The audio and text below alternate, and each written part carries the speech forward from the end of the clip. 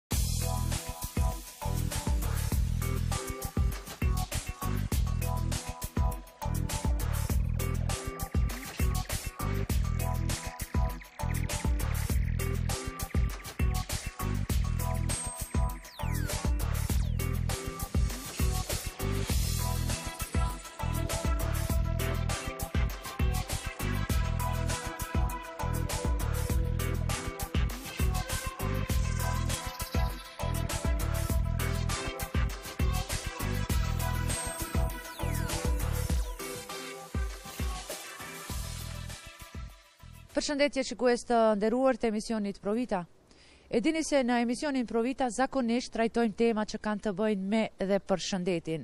Flasim për sëmundjet e ndryshme, për parandalimin e tyre, flasim për reformat në sektorin e shëndetësisë, flasim për gjithçka që ka të bëjë me shëndetin. Por, kësaj radhe ne do flasim për një temë tjetër e cila gjithashtu sado që është e dhimbshme, është moment prekës, është temë prekëse, megjithatë është në mesin tonë. Do flasim për vdekjen, e sidomos tani në këtë kohë të jashtëzakonshme, kur kemi pandemi, kur kemi epidemi edhe në vendin tonë, kemi raste të vdekjes me Covid nëntëmbëdhjetë, por kemi raste të vdekjes edhe nga vdekja natyrale. Se si tani po përballen qytetarët gjatë kësaj kohe të jashtëzakonshme kur duhet të bëjmë edhe ceremoninë e vorimit të tyre, ë Në rast të veçantë kur ndonjë bashkëkombas i yni vdes në vendet e huaja dhe duhet ta kthejnë këtu në vendlindje, qoftë në Maqedoni, Shqipëri, Kosovë e gjetiu, hasin në vështirësi të mëdha. Se si e gjithë kjo, domethënë, po organizohet tani, ne do flasim në provitën e sotme, të cilën fillimisht, domethënë, do e realizojmë duke zhvilluar një intervistë me teolog e pastaj edhe me përfaqësues të ndërmarrjeve të cilat janë në terren dhe i bartin kufomat qoftë prej vendeve të jashtme në vendlindje, po pse jo edhe në vendlindje ngase kemi shumë protokolle të cilat tani duhet t'i zbatojmë dhe nuk mund t'i dërgojmë dhe t'i T'i përshëndesim ose t'i çojmë në shtëpinë e tyne të fundit ngase kemi ligje dhe rregulla të reja për të parandaluar përhapjen e virusit korona. Pra qëndroni shikues të nderuar me provitën, shpresoj se do keni çfarë të mësoni dhe të informoheni se si të sillemi në këto momente ose në këto kohë të vështira për të gjithë ne. Jemi dëshmitarë se jemi në gjendje të jashtëzakonshme ku gjithë jemi duke u mbrojtur nga koronavirusi ose thënë më saktë nga ky virus që në mbarë botën domethënë po merr jetë po edhe po prek shumë qytetarë një gjë e tillë po ndodh edhe këtu në vendin tonë dhe ne domethënë si emision Pro Vita vendosëm që këtë temë ta trajtojmë edhe nga një këndvështrim tjetër, më saktë do të flasim para së gjithash për vlerën e mirëmbajtjes së shëndetit edhe shikuar nga këndvështrimi i fesë islame, por gjithashtu nuk mund të mos prekim edhe temat që janë mjaft, mjaft të prekshme edhe në jetën tonë normale dhe të përditshme, do të flasim edhe për rastet e vdekjes dhe Varrimet e personave që humbin jetën gjatë kësaj gjendje të jashtëzakonshme, kemi edhe persona të cilët jetojnë në vende të jashtme dhe problem në vete është se si ato viktima ose e thënë më saktë si ato trupa të pajetë do i sjellin në vendlindje për t'i varrosur. Kemi shumë protokolle të cilat duhet t'i ndjekin, por më gjerësisht rreth kësaj teme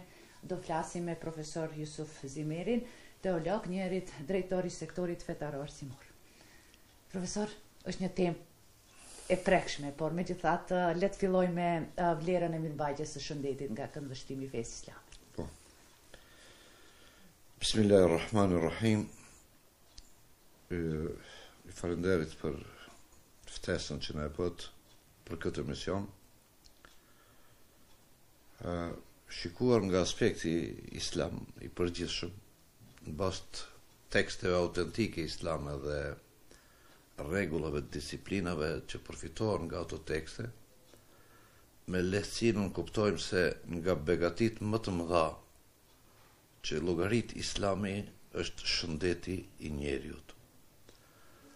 Edhe pse në gjendje të rëndomtë njeriu, kur jeton shoqëria është në gjendje të qetë të rëndomtë, thotë pejgamberi alayhi salam në një hadith dy faktorë apo dy elemente janë të përbuzura i kanë hedhë pas shpine njerëzit e ato janë dy bereqete, dy begati të mëdha.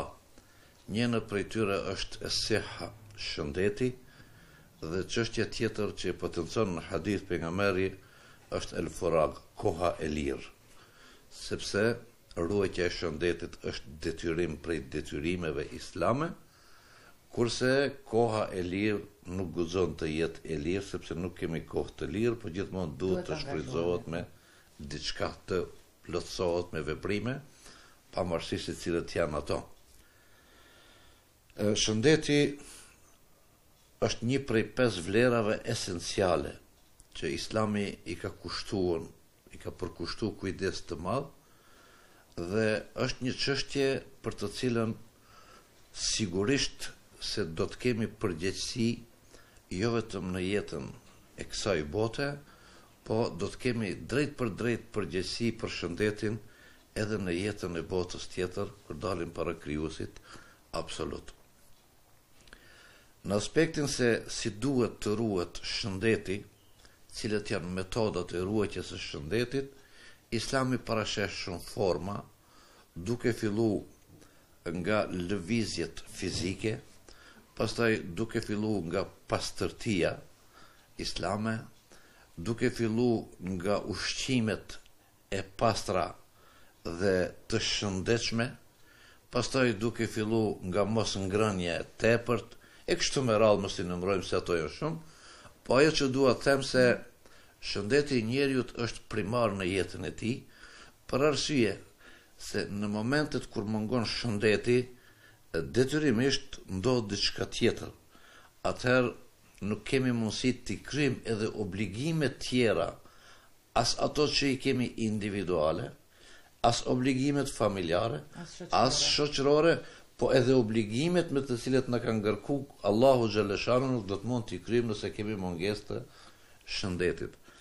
Prandaj parimi islam i ruajtjes së shëndetit mbështetet në dy shtylla kryesore që do të kishte thënë. Çështja e parë është hifdhus siha, ruajtja e shëndetit. Kjo nënkupton preventivat që i përmendëm, ushqimi, fjetja rahat, veshmbathja, lëvizjet, lëvizjet, po, po, krejt këto, do të hifdhus siha, ruajtja e shëndetit. Çdo gjë si preventivë që e ruan shëndetin duhet të jetë te ne. Dhe ë Ruajtja e shëndetit për te ata që janë të shëndoshë dhe reddus siha lil-marda, rikthimi i shëndetit për ata të cilët janë të sëmurë. Do të thotë të dy parime janë bazë në Islam, ruajtja e shëndetit preventiv, por nëse vjen deri te sëmundja, atëherë duhet të bëjmë përpjekje maksimale që t'ia kthejmë shëndetin, jo jetën, sepse jeta nuk është në dorën tonë, mm. por ne kemi obligim që të ndihmojmë atë i cili është i sëmurë. A vlen këto parime, domethënë, edhe gjatë uh, jetës normale në përditshmërinë, por edhe tani në këto kushte kur e dini që e mbarë bota ka shpall gjendje të jashtëzakonshme si uh, pasojë e uh, virusit korona. Dhe si do e kishit ndërlidh ju, profesor, këtë temë dhe me këshillat e juaja në aspekt të mirëmbajtjes të shëndetit, tani kur kemi domethënë pandemi në mbarë botën ose epidemi edhe në vendin tonë? Këto që i thamë, këto ndërlidhen me jetën e përgjithshme, kur situata është normale dhe është e qetë. Në rastet sepse Në rastet e epidemive ose pandemive ose gripeve të cilët janë pak a shumë më të rrezikshëm se njëni tjetri, përhapja e viruseve të ndryshme, përhapja e mikrobeve të ndryshme, ku e di unë mjekët si i klasifikojnë ajo është çështje e tyre dhe nuk është e jona. Le të themi smundje ngjitëse. Po smundje ngjitëse, al-amradul mutaaddiya që i po. thonë literaturën islame, smundjet që transferohen te tjetri, e tash secila e ka metodën e vet se si transferohet. Po derisa ne i përkushtuam vlera, derisa jemi në gjenje të rëndomt, atëherë përkushtimi për ruajtjen e shëndetit në këto raste jo dyfishohet, por shumëfishohet. Dhe ne gjithnjë po ndëgjojmë se po e luftojmë një anmik i cili është i padukshëm. I panjofshëm, i padukshëm. I panjofshëm dhe i padukshëm, po. Unë këtu po u jap pak kurajo dhe muslimanëve kudo që t'jen dhe po e besoj këtë që po e thoj se asht ashtu, po më starojmë se edhe aspekti pozitiv Ne kemi edhe një krijues absolut që është i padukshëm që është pozicionin tonë, favorin tonë dhe në mbrojtjen tonë. Pra ka edhe elemente tjera të cilët janë të padukshme e që janë në mbrojtjen tonë dhe ne plotësisht bindemi dhe besojmë te ai krijues dhe te këto elemente që janë pozitive siç është imuniteti. Si do na qetësoni? Pra, imuniteti. Po, po kjo është një prej po? qetësimeve. Sa i përket çështjes së si duhet të lëvizet, çfarë duhet të bëhet në momentet e shfaqjeve të pandemive të ndryshme, siç është kjo sot, pra COVID-19 që pandemi botërore, nga ekspertët më legjitim botëror, është shpallë si pandemi e rrezikshme dhe ne të tjerët nuk kemi arsye pse të mos e besojmë, sepse po duken edhe shenjat e saja, po duken pasojat realitet, mm -hmm. ne duhet të reduktojmë shumë sende në jetën tonë të përditshme. Këtë e kemi obligim fetar. Çështja e parë, që uh, gjithnjë e kemi potencu dhe po potencohet dhe po luftohet edhe nga organet uh, kompetente për të ba izolimin sa ma shumë të njerëzve. karantinën. Po. Ose distancë sociale. Është po. interesant se bota e civilizuar apo bota bashkëkohore shumë vonë e ka njoft institucionin e karantinës, se kjo është një institucion n'veti. Mm. Sepse këtë para 1400 viteve në institucionin e mbrendësisë, në thesarin e islamit e ka praktiku Pejgamberi alejhi selam. Kur thotë se në një vend ku bie një epidemi, një smundje ngjitëse, ata të cilët janë mrenda nuk guxojnë të hikin prej smundjes që me qëllim që të hikin të largohen prej atij. Po. Ata nuk guxojnë të largohen, ata duhet të hinë në karantinë, do të thotë të izolohen. Të tjerët të cilët janë jashtë nuk guxojnë të shkojnë aty. Dhe kjo është formë e karantinës, apo? Se dikush po mendon se shumë frik është zbulu kjo formë e karantinës. Jo, kjo është ma e hershme. Edhe atëherë kur mjekësia nuk i ka njoft këto sende. Në çështja tjetër që një karakteristikë shumë interesante është që pejgamberi a.s. thotë dhe e ka praktiku çdo herë që ka kollit ose ka tesh pejgamberi a.s. nëse s'ka pas mindil, faculetë, shami, diçka e ka vendu dorën Në gjendje të rëndomtë. Nuk po flas tash për pastërtinë, për abdesin, për njënën, për tjetrën se këto janë pa. Do thotë edhe kjo është një masë mbrojtëse se kur ka fol pejgamberi alayhis salam për mikrobët, bota bashkohore deri frik nuk i ka ditë se çfarë janë ato. Po ai ka fol n'bazë të asaj që është frymëzu nga fuqia absolute. Dhe ne sot në këto raste kemi detyrim fetar mbi të gjitha si muslimanë, po flas për muslimanët, mm -hmm. detyrim fetar që t'i ndëgjojmë dhe respektojmë porositë kuranore dhe hadithet profetike duke i apliku në jetën tonë të përditshme që në rast të pandemive sa më larg e mundshme në aspektin fizik njeni me tjetrin, Por kjo nuk do të thotë ndarje shpirtërore dhe psiqike, po do të thotë ndarje fizike për ta ruajtur shëndetin tënd dhe për ta ruajtur të tjetrin. Sepse vlerë ka njeriu vetëm kur është i gjallë dhe i shëndoshë dhe pas momentit ngel një sasi ose një perceptim i vogël i respektit si krijesë njeri, por mo nuk e ka vlerën e atij që është i gjallë. Dhe ne pra kemi detyrim islam që të mbrohemi prej kësaj. Nuk është e mjaftueshme, nuk është islame teza që po hedhet edhe nëpër rrjete sociale Nëse unë kam me vdek, do të vdes. Këtu deshta ndërhy profesor, ju lutem më lejoni. Keni, domethënë, ma merr mendja dhe ju keni dëgjuar, po edhe unë shpesh kam dëgjuar, po edhe në rrjetet sociale tani po dëgjojmë edhe shprehjen, nëse e kam të shkruar të vdes, do vdes. Nëse duhet ta kapi virusin, do ta kapi virusin. Nga ana tjetër edhe parimet të cilat e thatë ju, domethënë na bëjnë me dije se ne duhet të mbrohemi. Ndoshta do shprehem shumë në mënyrë thjesht ose banale, po janë shprehje të cilat i dëgjojmë në rrugë. Po. Zoti na ruan neve. Po unë di se Zoti ka thënë që ruajeni pak, ju që t'ju ruaj unë shumë. Si e komentoni ju këto se shpesh nuk po i respektojnë ë dy parime. Pa marrë parasysh që dy parime nuk po jetojmë shumë kolekt mirë dhe ozëllor. Një parimi islam që nëse unë kam me vdek Ajo do të më kapë dhe nëse është shkru për me vdek, do të vdes. Nuk është kështu. Si është profesor? Omer ibn al-Khattabi, Hazreti Omeri si halife, me një delegacion në krye, është nis prej Medinës me ardh në Sham, në Damaskën e sodit. në kufirin mes tokës së Saudies dhe Shamit të atëhershëm, në atë zonë që ka qenë krejt një shtet, del dikush dhe informon halifën, kryetarin e shtetit, se në Sham ka një sëmundje ngjitëse dhe është rrezik të shkoni atje. Omeri i konsulton shokët çka i ka pas me veti dhe vendos që të kthehet, të mos shkon për shkak se ka një pandemi, një epidemi mos t'i them pandemi, Thashë një sëmundje, një sëmundje ngjitëse, po, s'ka rëndësi emri i saj në fund fundit, dhe Omeri vendos që të kthehet. Dikush prej shokëve i thotë, a po hik prej kaderit të Zotit, prej përcaktimit të Zotit, a po ik prej asaj çka ta ka shkru Zoti? Omeri tha po, e sqaroi këtë punë, po hiki prej kaderit të Zotit në kaderin e Zotit, prej përcaktimit të Zotit në përcaktimin e Zotit. Sepse nuk mund ti me mend në kokë, me vetëdije, që Të hedhesh para rrezikut dhe të thosh nëse kam me vdek do të vdes, sepse bart përgjegjësi. Nuk e diskutojmë vdekjen, nëse Zoti më ka shkru vdekjen, çdo kujt na e ka shkru vdekjen. Po. Por jo kur dojmë ne.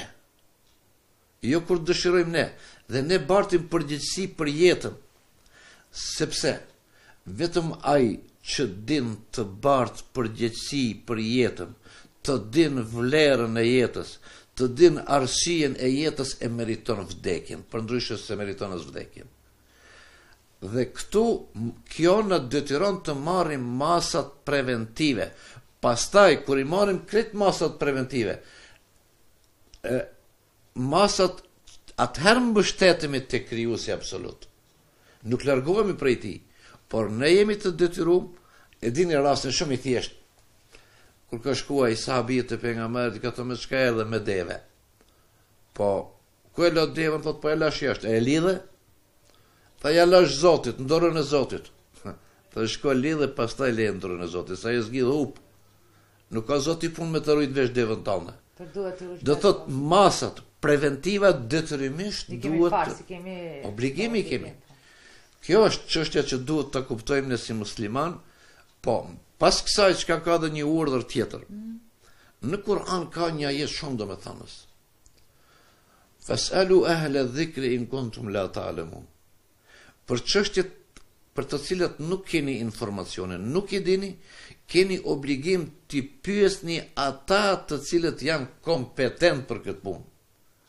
Për çështje se si shpërndahet koronavirusi, me çfarë mjete shërohet, cilët janë medikamentet, mos e pyt hoxhën. Pyte mjekun, mos e pyt as politikanin, mos e pyt as juristin. Juristin pyte për ligje, politikanin pyte për politikë, po për mjekësi, për smundje pyte mjekun. Në këtë rast, udhëzimet e mjekut për neve janë obligim për t'i zbatu. Janë obligim. Derisa mjekët neve na thojnë, e vetëmja mënyrë Për ta kput zinxhirin e shpërndarjes së kësaj, distanca. është distanca, po. Edhe pse ne jemi njerëz duhet të lëvizim, por sa ma shumë kujdes. mbrojtje dhe kujdes prej saj, do thot Islami një herë parimet islame, së dyti Edhe udhëzimet e mjekëve i kemi obligim fetar që t'i përcjellim dhe t'i ndëgjojmë, sepse përndryshe dalim shumë qesharakë, shumë naivë dhe nuk mund të arsyetojmë veprimin tonë. Profesor. Këtu veç një send du ta potencoj se çështja e dytë çka deshta ta theksoj. Po e ndëgjojmë edhe këtë. Pandemia e cila është sot është përhap, unë nuk e di si pasojë e çkahit është, nuk jam ekspert i asaj fushe, sikur ju edhe ne po ndëgjojmë muhabete të ndryshme. Edhe ne po dëgjojmë edhe po pyesim pas asaj çka po dëgjojmë po. Po ka një një çështje shumë të rëndësishme, unë nuk pranoj dhe nuk është e mund, nuk është e tillë se kjo është një dënim prej anës së Zotit. Kjo nuk është dënim. Kemi edhe shprehje të tjera. Po. Kjo nuk është dënim prej anës së Allahut. Si e komentoni ju çfarë? Kjo është sprov prej anës së Allahut xhele shanuhu. Sprova është diçka tjetër. Sprovën nëse dim ta menaxhojmë. Nëse dim ta lexojmë. Dobit prej saj janë shumë ma të mëdha se sa dëmet. Nëse nuk dimë ta menaxhojmë dhe nuk dimë ta lexojmë, nuk dimë t'i kuptojmë mesazhet e asaj sprove, atëherë do të humbim këtu, do të kemi pasoja të rënda edhe edhe ma tutje pastaj, po ndoshta do të kemi pasoja edhe në jetën e botës tjetër. Tani po të ishte dënim Allahu xheleshanuhu din se si dënon. dhe dënimet në mënyrë kolektive, në mënyrë grupore, se edhe tërmeti kur ka ne themi kjo është dënim prej anës Zotit, mund të jetë tërheqje vërejtjes, mund të jetë sprovë, jo, jo mund, po është sprovë, por jo dënim, sepse Allahu xheleshanuhu për hir të Muhammed Mustafasë, pejgamberit a.s., e ka ndaluar dënimin kolektiv të popujve Pas vde, pas shpalljes së Kur'anit, pra të ummetit të Muhammed Mustafas, siç ka qenë te popujt e mëparshëm, populli i Lutit, i Nuhit që i ka shkatërru me forma të ndryshme, këtë e ka ndalu për neve, dhe ne nuk mund të themi se është denim, sepse po të merret Allahu xheleshanuhu me vlerësimin e veprave tona dhe të na denon sa mëkate bëjmë ne është dashtë moti t'na shkatërron. Por ai është i mëshirshëm Dhe ne kemi shpresë te mëshira e Tij. Dhe krejt për në fund për këtë Për këtë temë që të nisim, po. Për këtë çështje do t'u them një send tjetër tu muslimanëve gjithkund ku janë. Thot pejgamberi alayhi salatu wassalam ë Inna li kulli da'in dawa. Zoti ka krijuar smundje, ka shumë smundje. Tash për çdo sëmundje, thot pejgamberi alayhis salam, do të ketë edhe ilaç. Do të ketë, më fal, mjekim. Do të ketë shërime. Do thotë edhe kjo smundje që e ka kapluar këtë popull, edhe neve përfshin, se kjo nuk zgjedh as nacionalitet as fe. Se kjo smundje korona as nuk është musliman, as krishter, as çifut, as budist. Kjo çka të gjenë para veti i fshin. E, Allahu pejgamber alayhis salam na garanton se edhe kjo do të ketë ilaçin e vet. Do të gjendet ilaçi dhe shpresojmë që frik do të gjendet ilaçi. Po përmes kujt do të gjendet ilaçi? Do ta zbret Zoti nga qielli apo ne duhet ta hulumtojmë? Ne përmes atyre shkencëtarëve nëpër laboratori që ne duhet t'ju besojmë. Se po nuk ju besum, atëherë nuk guxojmë morim edhe hapat e përditshëm që ne i përdorim për smundje të ndryshme. Nuk guxon t'ja japësh kur ke të bësh operacion, Ja dorëzon trupin mjekut dhe po i beson dhe tash për kët epidemiën jo po nuk i besoj se unë e kam besimin tim. Nuk shërohen këto çështje në kët formë, prandaj ajo që po e tham si myzhde për muslimanët edhe kjo ka shërimin e vet, do ta ket shërimin e vet, e jona është të mbrohemi, e jona është të ruhemi, e jona është t'i ngojmë ehli dhikr, ata që janë kompetent për kët punë, Dhe me iznin e Allahut do shpëtojmë shumë lehtë prej kësaj, pa kurrfarë panike, pa kurrfarë mërzie, pa kurrfarë telashi, sepse karantina nuk është mërzi. Vërtet po mbyllemi pak në shpi. Po edhe ajo i ka të mirat e veta. Po ja në shtëpitë tona na i kemi gjitha të mira, shyqyr Zotit. Ka njerëz që as shtëpi nuk kanë. Po. Po unë, po e them kështu, një nanë, po e shfrytëzoj një rast, një nanë, i kish vdek burri dhe kish lënë do fëmij të vegjël, tre fëmij të vegjël, një shtëpi të vjetër, dhe një ditë kap një rrëmujë, një shi, një breshër, një kështu, edhe ja merr kulmin shpijës. Nana ngel pa kulm mbi kokë. E varfër. Ça t'ju ban fëmijve, si t'i mbulon fëmijët, e hjek derën prej vendit, e vëndon mbi mur dhe i fut fëmijët nën derë. Sa mbron dera prej shiut? Po mos t'ju bjen drejtpërdrejt. Edhe vajza e vogël thot nënë. Thot mirë ne që e patëm derën, po çka bëjnë ato që s'e kanë derën? Kjo në këto kushte, jo ne në këto kushte që jemi sot në majë të luksit jemi ne dhe të ankohemi për këtë. Në fund fundit, kjo është për shëndetin tonë, është për fëmijt tonë, është për familjet tona, është në interesin tonë, dhe kësaj nuk duhet t'i lëvizim sepse kemi detyrim t'i përmbahemi. Të mos i ngelim borxh të gjithë atyne shikuesve tanë që janë shqiptarë ndoshta me fe tjetër, po megjithatë besoj që këto këshilla janë të njëjta pothuajse Për të gjithë njerëzit, për të gjithë njerëzit. Kështu që të mos i ngelim borxh vetëm, domethënë fesë islame, domethënë po. Këto janë këshilla për njerëzit. Po. Sepse kur flet për shëndetin, kur flet për ushqimet Kurani Kerimi, u drejtohet njerëzve ja ejjuhen nas, O ju njerëz, hani ushqime të pastra. Nuk u drejtohet vetëm muslimanëve, po njerëzve në përgjithësi pa dallim rase, gjinie, gjuhe, feje e kështu me radhë. Shpresoj që shumë më shpesh do ju kemi të ftuar në Provita për tema të këtilla që kanë të bëjnë me mirëmbajtjen e shëndetit, po kësaj radhe do duhet pakës ta ndrrojmë edhe temën Të fillojmë me një temë paksa më të prekshme, profesor.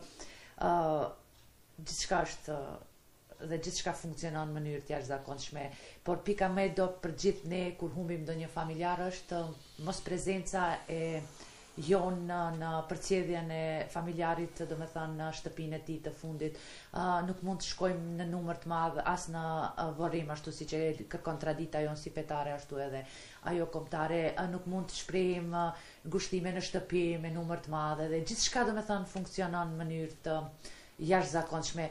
Si të veprojmë në këto raste? Unë... Kemi edhe protokolle, domethënë, të cilat po, duhet të respektojmë, duhet të ndëgjojmë mjekët, po. duhet të ndëgjojmë uh, institucionet kompetente se... që ta uh, ngushtojmë rrethin e përhapjes ose ta shkëputim. Uh, cilat janë këshillat e juaja në këtë drejtim, profesor?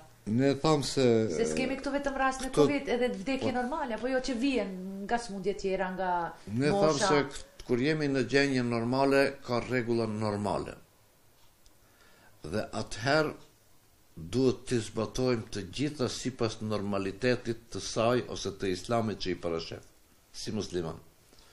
Kur jemi në gjenje të jashtëzakonshme, Sikur tash çka jemi, nuk po them se është situatë e shpallur si gjendje e jashtëzakonshme në atë aspektin politik, po tash jemi në rrethana pak a shumë krejt ndryshe prej asaj të rëndomtës. Duhet të përshtatemi momenteve në të cilat jetojmë. Porositë e organeve kompetente për ta ruajt shëndetin, fëmijët tonë, vetvetën tonë, shoqërinë tonë, krejt çka na rrethon neve, është që të mos grumbullohemi njerëz në në në në grupe të mëdha. 2, 3, 4 ose 5. Maksimum thonë edhe në ligj më tepër se 5 po. nuk duhet. Ngase kanë llogaritë nga një familje. Kjo ishte edhe arsyeja që ne e mbyllëm i mbyll e, e pezullum edhe faljen e namazit me xhamat nëpër xhamia përfshi këtu edhe namazin e xhumas i cili është farz po megjithatë megjithatë namazi i xhumas një prej kushteve të namazit të xhumas është siguria e plotë Përderisa nuk ekziston siguria e plotë, namazi i xhumasë nuk është farz.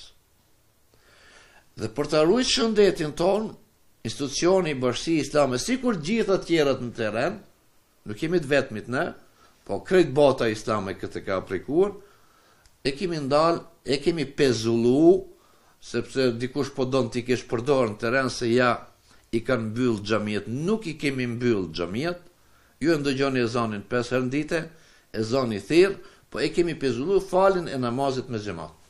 Te rastet e vdekjeve, pavarësisht se vdesin nga sëmundja e epidemies, nga korona, ose sëmundje normale, që njerëzit vdesin në shtëpi normale, po sigurisht, po ja që vdesin, po kemi raste vdekjes, po. Procedura e varrimit është mirë që të bëhet në numër sa më të vogël të njerëzve. Nëse dikush, unë e kuptoj këtë, se jetoj në qatë në qatë rreth, edhe në këtë në këtë shoqëri, unë nuk jam i ardhur prej Marsit as prej Jupiterit. Mm. E kuptoj këtë se është ndjenjë e pa përshkruar të mos marrish pjesë.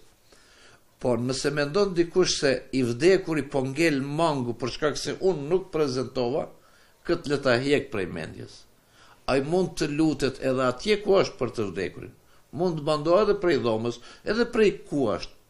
Do thotë, nëse mendon se i vdekuri ngelit diçka mangu prej sevapeve, atë le ta hekë prej mendjes, sepse ato shpërblime, ato lutje arrijnë deri te i vdekuri prej atje ku është.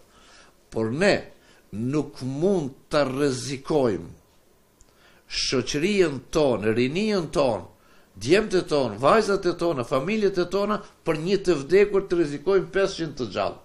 Kjo nuk është islame. Tani, sa është niveli i rrezikut Nuk jam unë që e përcaktoj. Nuk mund ta dimë edhe ne po jo, po, se mund të. Nuk jam unë që e përcaktoj, janë ekspertët që e po, po, përcaktojnë. Po, dhe ato po thonë se virusi Aktual nuk ka këmbë që ecë, por ai ecë mbi ne, përmes neve, d.m.th. ecë me ne. Dhe për me ja mbyllë rrugën atij, për me ja shkurtu këmbët mos me ecë, është qikjo metodë. Dhe është e logjikshme, duke u bazu edhe në hadithet e pejgamberit. Prandaj nuk mund të rrezikojmë, nuk është racionale, nuk është islame të rrezikojmë opinionin, xhematin, rinien, familjet, për një të vdekur, jo se ai është pa vlerë. Larg qoftë, po, po mendoj. Një i vdekur kurrë nuk mund të krahasohet me një të gjallë. Sepse kështu e ka jeta. Atëherë kështu teologët llogariten edhe si psikolog, unë do i thosha. Si do na qetësoni shpirtin pra, se e dim se asnjëherë për kryeshëndosh nuk është vonë. Të presim në këto raste për shembull Të kalon epidemia apo si? Po, kryeshëndosh që të ndejtojmë të pamit për me shku njerëzit, po që është 3 dit, 5 dit, 7 dit, kush e si i ka të rënda. Po.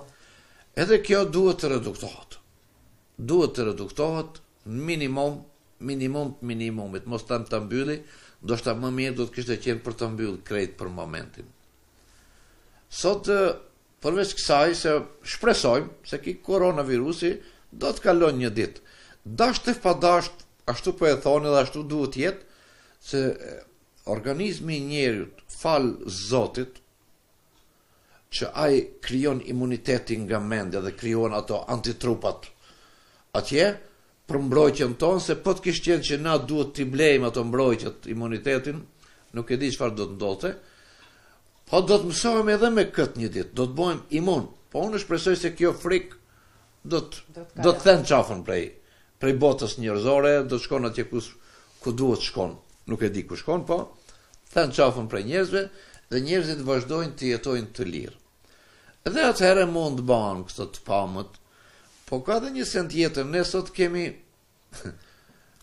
edhe teknologjitë shumë që mund t'i japim gajret njëni tjetrit. Se ne po rrim me fëmijët tonë në Gjermani, në Zvicër, në Amerikë, në Londër, po, po bëjmë muhabet, po. po shihemi, po bisedojmë, po kontaktojmë. Po. po i shofmi krejt familjen. Dhe këto janë ndihmesa për neve, falë teknologjisë bashkëkohore, por nuk është mirë Nuk është mirë, thash, që të grumbullohemi ashtu si jemi grumbullu deri tash. Dhe këtu duhet të ruhemi.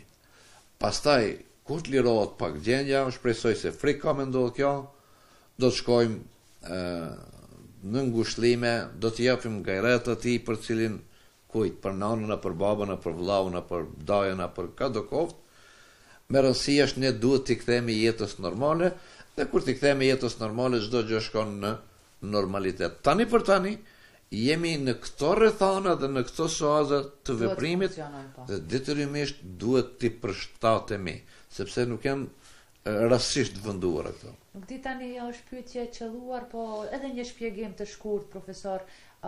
E dim se tash, do me thënë, eventualisht nëse është viktima si pasojë e COVID-19, do me thënë, nuk mund t'i bëjmë gjitha ato ceremonitë e varrimit ashtu siç i bënë, do me thënë, përmes hoxhës ose teologes, do me thënë. Si tani do na qetësoni këtë nëse eventualisht nuk i bëjmë ato procedura se nuk guxojmë t'i afrohemi, nuk guxojmë t'i pastrojmë. Ka zgjidhje për këtë islame, kjo zgjidhje është paraparë nga dijetarët që nga koha e pejgamberit po. Çdo, kjo ka ndodhur edhe raste të tjera jashtë koronës, jashtë pandemisë, po tash janë më aktuale. Nëse dikush vdes nga pandemia, është normale Dhe vlerësimi i fundit për këtë veprim është i mjekëve, jo i hoxhës. Mhm. Nëse mjekët, njerëzit ekspertë, konstatojnë se hoxha bashkë me mjetet e tij, dorzat, maskat, ku e di çfarë duhet tjetër atje. Nëse me këto instrumente mund ta pastron xhenazën dhe të mos ketë rrezik, xhenazja pastrohet dhe qefinoset dhe varroset ashtu si si si përherë. Por nëse ekspertët e kësaj fushe konstatojnë se këtu ka rrezik edhe krahas kësaj dhe po duket se ka rrezik për arsye se krahas këtyre kësi mjeteve, shumë mjekë nëpër botë ka të infektum. Që do me thonë se nuk Nuk është i sigurt. Atëherë çfarë duhet të bëjmë? Atëherë ne nuk mund ta bëjmë pastrimin e xhenazës. Nuk mund edhe t'i japim tejemum se është prekje përsëri.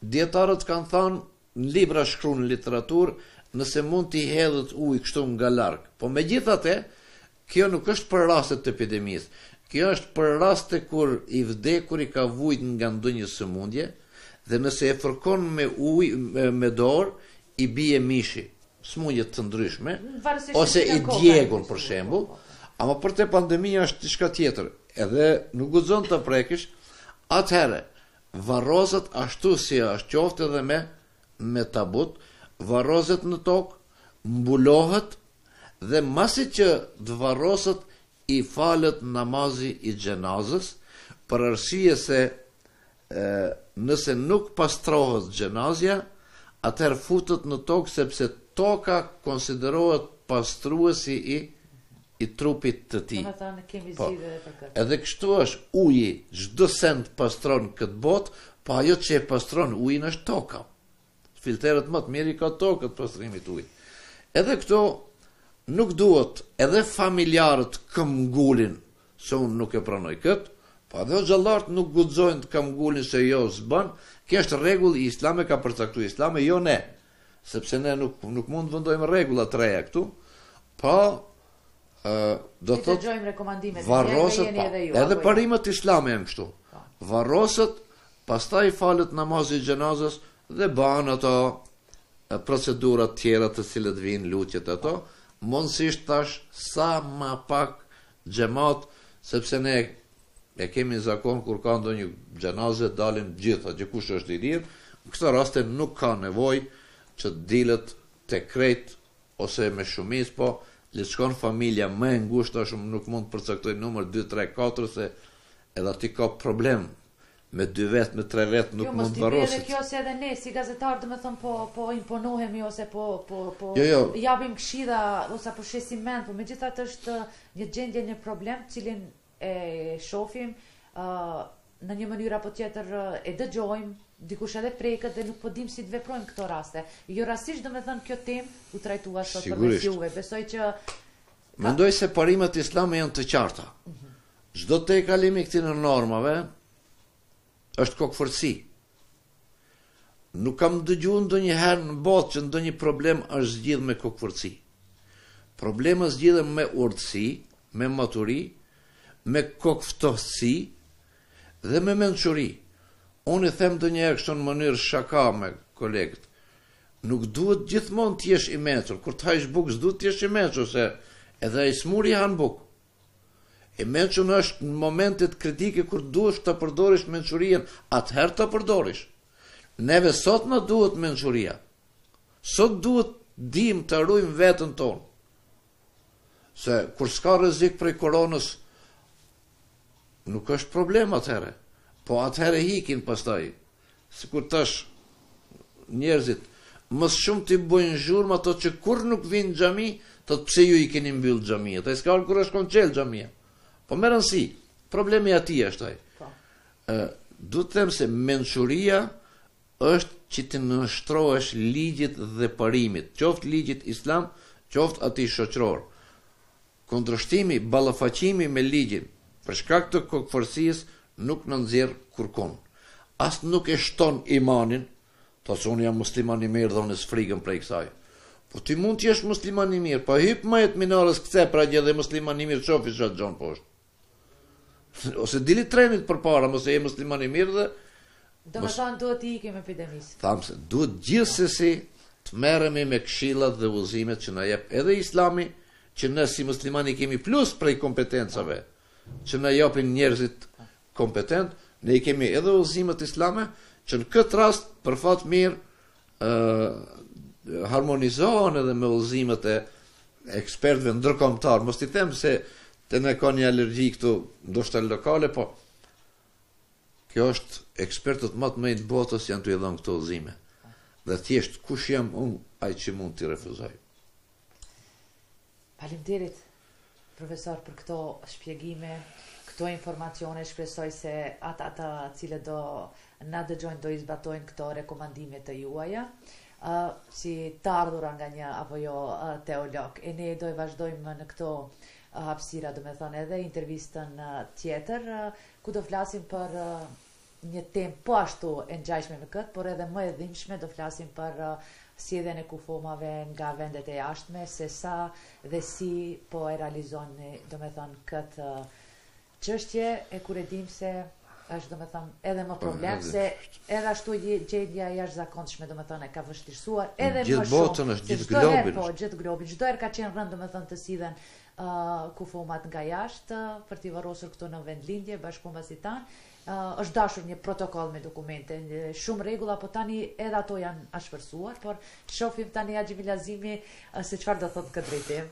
Unë për fund veç edhe një herë kisha dashur t'ju apeloj gjithë muslimanëve, sidomos rinisë me këtë farë mbylljen po i them nëpër shtëpi, rrini nëpër shtëpi, mos dilni nga shtëpia pa nevojë, Merrni lexoni, lexoni libra, lexoni Kur'an, falni namaz, bëni lutje, qetësohuni shpirtërisht, qetësohuni fizikisht, qetësohuni moralisht se edhe kjo punë biiznillah teala me iznin e Zotit frik Do t'i vjen fundi dhe do të vazhdojë jeta normale. Dikush ka jetu tetëdhjetë vjet në liri e tash dy javë, tri javë, një muj, dy kjo nuk është robni, po po i them pak m'u lokalizue edhe tash e e konsideron vujtje t'tan jetës, pra lexoni Kuran, bëni lutje dua, qetësohuni shpirtnisht, Jetoni me familjet tuaja, lexoni libra, po shfrytëzoni për të mirë. Inshallah Zoti na mbron gjithë muslimanët kado që janë, po gjithë njerëzimin kado që është dhe inshallah kjo punë frik frik do të merr fund. Faleminderit. Pra shikues të nderuar patët rastin që ca minuta të dëgjoni se çfarë teologu thotë rreth temës që ka të bëjmë me mirëmbajtjen e shëndetit sipas rregullës së fesë islame, por ne tani në vazhdim ju ftojmë që të ndiqni intervistën me drejtorin e ndërmarrjes Er-Rehatu, zotin Milazim Dibrani, nga i cili Do mësojmë se si tani në këtë gjendje të jashtëzakonshme funksionon kjo ndërmarrje e aq më tepër vallë kanë probleme shtesë në aspekt të marrjes së kufomave të cilat vijnë nga vendet e jashtme, por se si funksionon e gjithë kjo dhe me çfarë protokolle të reja ne do të mësojmë domethënë siç thamë nga zoti Dibrani. Zoti Dibrani, Është një gjendje e jashtëzakonshme dhe në këtë kontekst do doja domethënë të na informoni se si po funksiononi ju, keni vështirësi apo jo gjatë marrjes së kufomave të bashkëkombasve tanë, të cilët jetojnë jashtë vendit dhe gjithsesi ndrojnë jetë atje dhe normal dëshira e secilit bashkëkombas tanë është që të varroset në vendlindje. Si po funksiononi tani në këtë kohë të jashtëzakonshme kur kemi pandeminë e virusit korona. Ju faleminderit për së pari që na vizituat dhe gjetët kohën të shtrenjtë. Neve si gjithë shteti që funksionon tash me probleme dhe organet tjera, neve tash kemi vështirësi se për shkak gjendjes të ashtuquajtur të jashtëzakonshme, funksionojmë shumë me vështirësi. Kufomat cilat vijnë nga jashtë, përgjithësi vijnë me kargo në Prishtinë. Nga Prishtina sjellen deri në kufirin Bllacë, Maqedoni. Mirëpo për të marrë një kufomë prej kufomë prej ndërmjet dy kufinjve prej Bllacës ka protokoll të ri i cili Ministria e Punëve Jashtme duhet t'i bën kërkesë Ministrisë të Punëve të Mbrendshme. Deri të jep leje ose pajtueshmëri nuk mirret të mirret kufoma nga kufiri Bllacë. Është një protokoll i ri. Tash kemi vu kontakt me ambasadat në vendet gjegjëse që do të janë në Zvicër, në Gjermani, që ambasadat ose konzularat prej atje, ato të rregullojnë atë punë në mënyrë protokollare me Republikën e Maqedonisë, me organet e punëve të mbrendshme. Dhe kemi shpresë që pak më shpejt të shkon se neve ngelëm të dielën 5 orë në kufi. Edhe i morëm 5 kufoma për Maqedoni edhe një për Preshevë. Është shumë problem Për familjarët t'ju ngel një javë, dy javë t'ju ngel në diasporë, edhe kur të vijnë në kufirin tonë, vendasi që duhet të hijë në shtetin e vet, familjarët janë në ankth, duke pritur se çka u bo kjo punë, pse s'na lanë, kur do ta marrsh, kur do ta bish kufomën. E ajo është pak vështirësi të mdhaja janë këto për neve shumë. Edhe nëpër spitale, po sidomos prej diasporës që na vijnë kufomat, kena vështirësi. shumë të madhe. Çfarë duhet të bëjnë, domethënë, institucionet kompetente që t'ua lehtësojnë s'paku këtë punë ose këtë problem, do me thënë. është një moment edhe ashtu, do me thënë, i dhimshëm, nga se nuk mund vetë familjarët të vijnë, si edhe të marrin pjesë në vorrim, plus kësaj i shtohen edhe këto probleme tjera me dokumentacione e kështu me radhë. Unë vetëm pak do të plotësoj sa di, Që tash kanë marrë një hap përpara, çdo kufomë që vdes jashtë. Kompania e cila e rregullon kufomën jashtë, duhet t'i jep të dhanat se cila veturë e funeralit nga Kosova duhet ta merr kufomën prej kargës Prishtinë dhe cila duhet ta sjellë deri në Shkup. Dhe të njëjtën duhet të jetë informume Ministria e Jashtme se cila veturë, cila agencion, cila kompani do të jetë në kufirin Bllacë. Domethënë do të përputhen tre elementet, të Maqedonisë, të Kosovës dhe të ambasadës, dokumentet të jenë të informuar nga ambasada para kohës këtë. Ajo na i hupën ma shumë kohën, edhe prandej ngecin këto pak vonesat më tepër. Tash domethënë duhet të jetë ma efektiv mënyra e, ambasada edhe Ministria e Punëve të Mrendshme. Mos të ngel Të presmi deri të t'ju sjellin emaila prej Ministrisë të Jashtme deri te Ministria e Punëve të Mrendshme. Neve lusmi mu për atë punë që të jetë pak ma ekspeditiv për atë punë. Rregull ju si punëtor dhe kolegët e juaj jeni të përgatitur edhe në aspekt të sigurimit apo jo personal ngase e dimë se tani nuk hapen kufomat si parandalim eventualisht edhe nëse kemi të bëjmë ndoshta me xhenaze të cilat domethënë ose me trup të pajetë i cili thjesht ka vdek jo nga smundja e virusit korona, po thjesht ka ndrruar jetë dhe duhet të sjellet këtu. I keni marrë gjitha masat, si funksiononi? Po neve deri dikun i kemi marrë aq sa kemi kushte dhe sa ka kushte dhe shteti jonë. Sa i përket punës teknike, neve i kemi kushtet krejt. Mirëpo është një problem se nuk vdesin krejt prej koronavirusit jashtë. Edhe te një vdekje normale ose natyrale, e ku është puna për hapjen e kufomave. Tash në këtë moment është gjendje e jashtëzakonshme protokollet e reja, çdo kufomë do të varroset me arkivol, simas Ministrisë Shëndetësisë dhe protokollet e jashtme, jo aspektin fetar, nuk jam për atë punën e kompetent dhe do të zbatojmë simas rrethaneve edhe nuk do të ketë në varrim shumë persone jashtë familjarëve, sa ma pak, sa ma shpejt, ajo është protokolli i ri tash që ka prej Ministrisë Shëndetësisë dhe botërore. A po keni mirëkuptim nga familjarët të cilët i presin, domethënë, arkivolet ose kufomat? Po me këtë qarë dhe të është, duan s'duan, patjetër ka mirëkuptim. Do të pajtohen me faktin se është ky fakt global, nuk është vetëm te ne. Dhe një mesazh a kishit mundur domethënë në adresë të shikuesve të programit tonë ë rreth kësaj teme? Po do të pajtohemi me gjendjen, do të bëjmë durim, dashtë Zoti sa më shpejt të kalon kjo gjendje për këtë neve. Ju dëshiroj sa më shpejt kalon dhe asnjë mos të ketë me koronavirus. Ju faleminderit. Gjithashtu, gjithashtu, mirupafshim.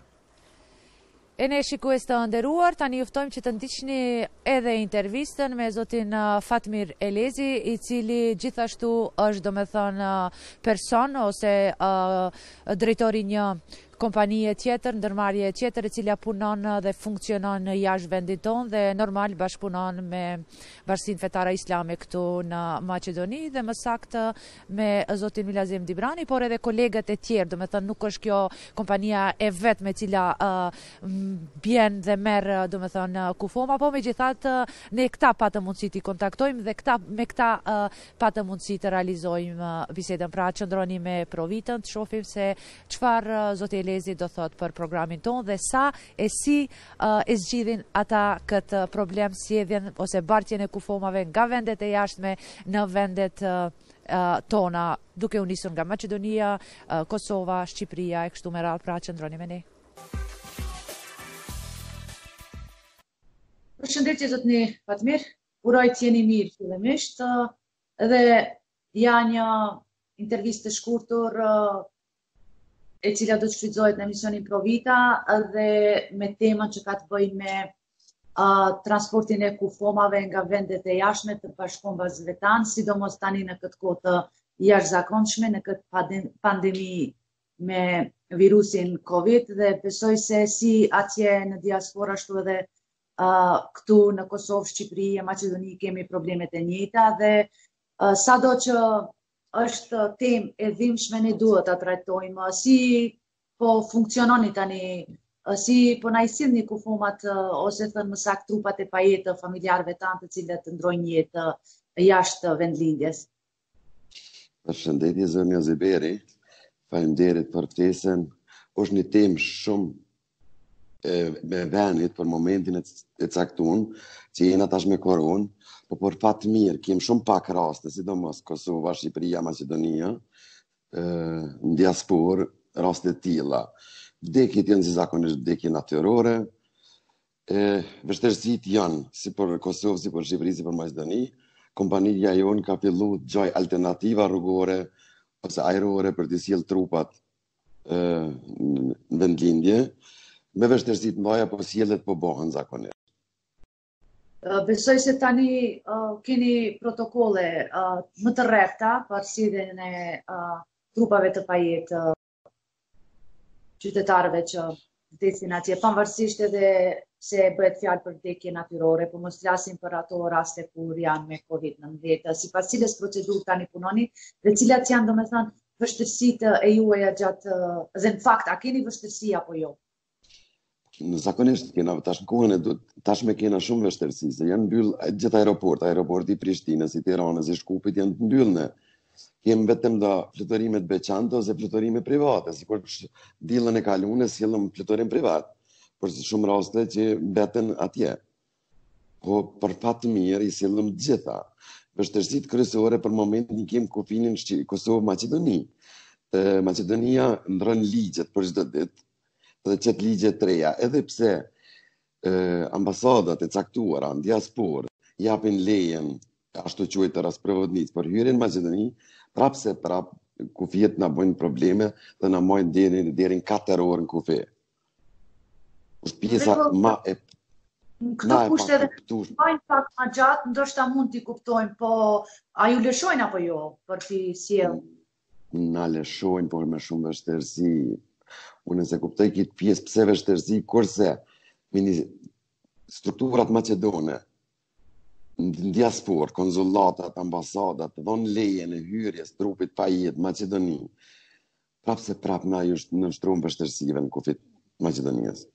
Mirë edhe një çështje tjetër, domethënë, si organizoheni tani Jo, gjithë familjarët, në fakt, asnjë familjar nuk mund të vijë, apo jo, nëse nuk ka boj... Për fat, për fat keq, s'ka familjar, zakonisht familjarët e, përshëndetjen e fundit e bojnë në diasporë, pastaj vazhdojmë ne, në rrugë të ndryshme, domethënë nuk muj i kërkujt t'i them që ta marrë këtë rrugë ose këtë rrugë, po rruga gjindet në momentin e duhur, kur ndodh rasti, edhe fillojmë transportin. Kena rrugë përmes toke, zakonisht janë do fluturime shumë të rralla, edhe ato vetëm në Prishtinë i marrin. Në mm. mjenë në numra, në numra të caktuar sa kufoma, sa trupa.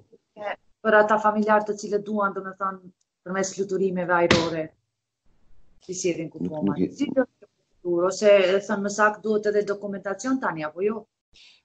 Dokumentat janë, sa i përket Evropës, kur s'i kemi kushtet normale si tash. Se edhe nëse është një rast me Covid, që nuk qet pengesa, se trupi nuk lejohet mrena kohës së caktume të transportohet, ose të kemë na kontakt si kompani me atë trup. Jenë dyzet e tetë orë, se na këshillohum edhe pej Ministrive të Shëndetësisë, si kompani e licencume në Evropë, këshillohum zakonisht çdo këshill i ri çka vjen sa i përket COVID-19-it, e këshillohum pi Ministrisë Shëndetësisë, si ta përdorim, si ta trajtojmë, se edhe na kena familje, kena po kam punëtorë që duhet t'i ruaj edhe ata. I kena masat e duhura, i kena mbrojtjet, i kena maskat, i kena rrobat. A po kanë mirëkuptim uh, bashkëkombasit tanë atje kur uh, u sqaroni se nuk guxon domethanë të hapet arkivoli ose thënë më saktë janë procedura uh, këto që janë dhe duhet t'i respektuar. Po, si, si, për fat mirë, për fat mirë janë shumë të mirëkuptueshëm, i shohin vështirësitë e veta që i kanë për lëvizje si në Evropë, si në vendlindje, Edhe e kuptojnë këtë pjesë, çdonjoni. Ja pra shikues të nderuar, kaq patët mundësi të ndiqni në emisionin e sotëm Provita të cilin siç e ndoqët ia dedikuam gjendjes së jashtëzakonshme këtu në vend dhe ku trajtuam temën rreth ceremonisë së vdekjeve, rasteve të vdekjeve dhe si po organizohemi tani në këto momente dhe çfarë krejt duhet të bëjmë që të parandalojmë ne pra gjithashtu si qytetarë përhapjen e koronavirusit në këto momente kur kemi rregulla, siç thamë herët, edhe protokolle të cilat duhet t'i zbatojmë. Sado që është e dhimbshme, edhe vetë teologët thonë qëndroni në shtëpi, ngushëllime mund të të ipni, domethënë, familjarëve edhe pasi të kalon epidemia. Domethënë, edhe teologët thonë t'i zbatojmë rekomandimet e mjekëve, sidomos tani kur kemi pandemi. Pra, unë ju falënderoj që qëndruat me ne dhe shifemi të hënën e ardhshme.